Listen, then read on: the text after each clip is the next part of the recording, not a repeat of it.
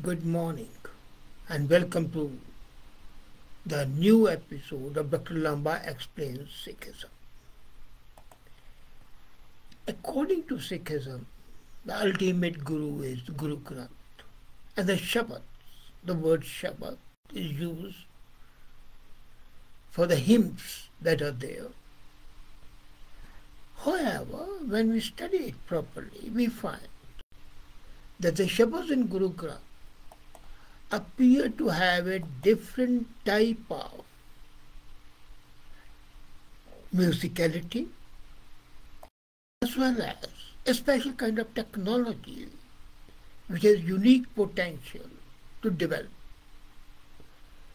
human psyche to handle the problems of the aquarium. It's a, in the body, when you listen to these Shabads sung in a proper manner, produces certain vitality. And in the complex of the mind, they awaken intelligence, develop wisdom and intuition, establish compassion in each person's consciousness. You may believe in Sikhism or you may not, but the vibrations of the music which comes enables you to develop a certain clarity as well as fearless integrity, and that's why the world over Sikhs are recognized for their empathy, for their large-heartedness. Now, what is Shabad? Shabad means sound, and Shabad Guru, Guru means teacher. The simplest meaning would be a special sound that's a teacher. Now, Shabad word comes from two, Shah and Ba. Shah is an expression of ego. The attachments we identify with. Ba means to cut off, eradicate. So, it cuts off the ego. It's not just a sound. It's not just a wise sound. It's a sound that removes your false ego, that occludes the truth from you. Now, the Guru word. If you break the Guru into its inner na, the atoms of the sound, it is Guru. Gu means darkness, ignorance. Ru is light. I'll join, I have a pain, I'll join again after five minutes. Please give me five minutes. I'm opening, come up.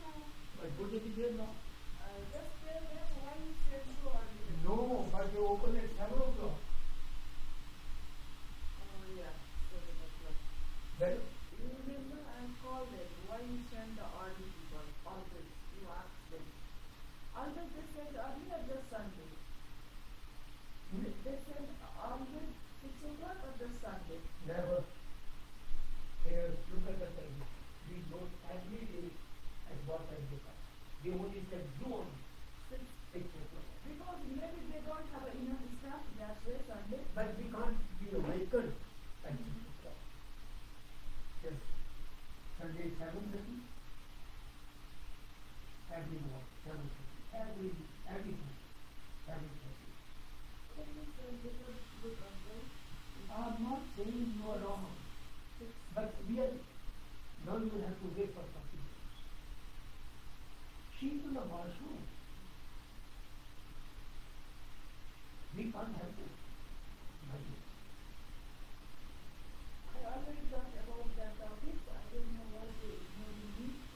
Because even last uh, Friday, I called the office. Oh, But you should have called me on Friday. If you had called me, I would have told them help. Now, have mercy. Relax. I'm so sorry that you have to suffer. no, I'm sorry. No, my dear, you are not a stupid man. I'm not a Six thirty, I had another people, right, what to discuss. Yeah. No, you have to wait here because Sunday, you know, you want, want to read something, you can take a note and can I give you something? No, no, it's okay. It's okay. No, that's a, that's a book. Oh, sorry. This is mine.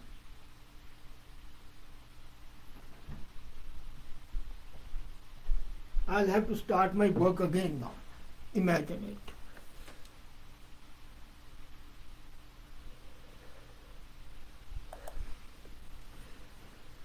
Yes. So, this situation is very different. And as I was saying, the word Shabad comes from Shah and Ba, which is ego. Now, similarly, the Guru is a changed form of Gur, which is a technique, and Ru is light, a technique to catch light. That is Guru. So Shabad, the eradication of ego, ego converts you to an enlightened person. Now, from where do these words come? They exist from the beginning of the creation. They are the tides and rhythms of the movement of a creative pulse of infinite consciousness. They vibrate in all things continuously. It's the ability to hear and feel them that's what's needed. And Guru Granth basically is not just a collection of, it is an organic unity that binds the awareness and potential of consciousness and the patterns of the Shabads command the brain and mind with rhythm, sound, construction, and breath. Now, just as the combining of the atoms has opened the way for the greatest energy in matter, the quantums of sound are the atoms that open up the way to the greatest synergy, increasing, enhancing the energy of consciousness and command the chemistry of brain. So the complete neuroscience now is proving that the Shabad patterns are a legacy to be used. And that is what is important.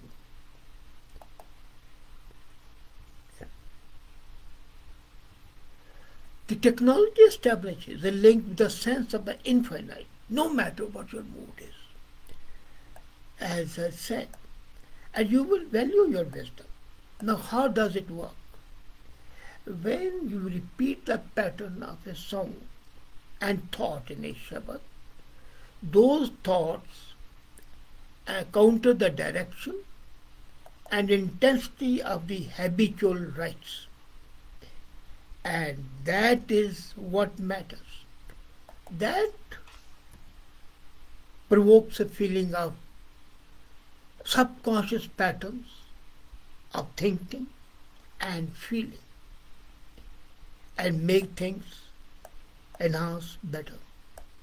Because the reflex sounds are stimulated by the movements of the tongue, you get maximum benefit.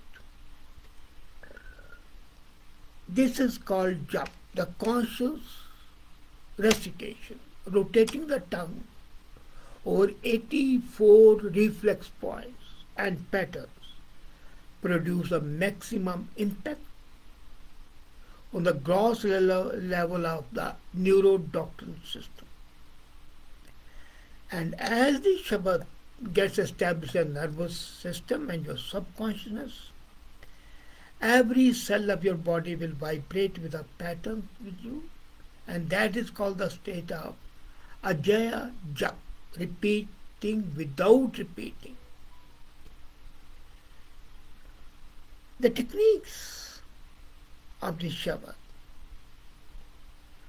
are identical to the mantras of Kundalini Yoga basically and can be seen as such.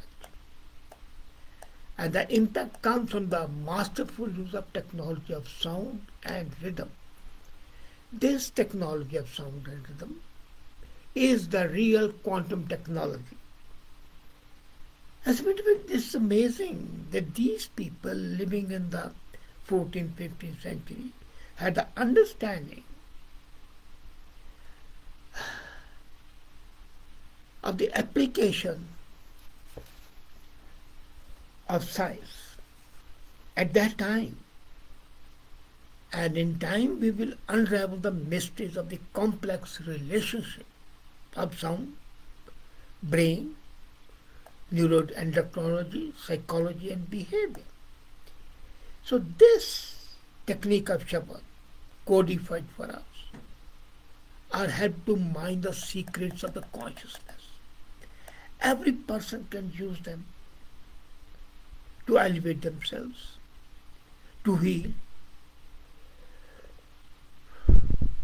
the diseased mind, the diseased body, to develop stamina, and to enhance intuition. That's the most important.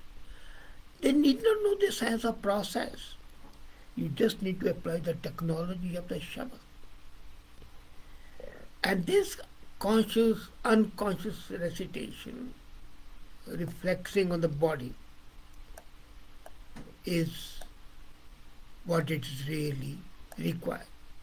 The human body, now I'm coming to that because how it receives is similar to a musical instrument. A musical instrument is constructed with strings and each string acts like a meridian. So the nerves of the human body are those strings. And it's a flow of the energy, cosmic energy, that cascades from the crown of the head, the tenth gate, like a waterfall. And that enhances your capability, your ability to deal with it. And that makes the whole thing different and perceptions enhanced. So if you can vibrate a pattern, the central channel, it will induce a synchronized pattern through the rest of springs. To vibrate a Shabda central channel, you must become still, concentrate, meditate when you're meditating with the eyes closed, you would see the sound percolating from the ears down the spine to the heart on one part, going up in the brain, and you are in a state of bliss. And that is what is the name of the path of the Shabad. Each movement of the tongue when you are reciting, when your tongue touches the upper palate, stimulates the meridian points. These points are like a keyboard input on a computer. The ultimately these vibrations go to the vital areas of brain, body, the hypothalamus, just below the thalamus, in the midline of the brain, connected by the blood vessels. So the special patterns stimulate the hypothalamus and change the chemistry of the brain. And thus, this quantum technology makes the Shabad an advancement of neuroscience which was utilized by the gurus to enhance the capability of the human beings and make them almost divine.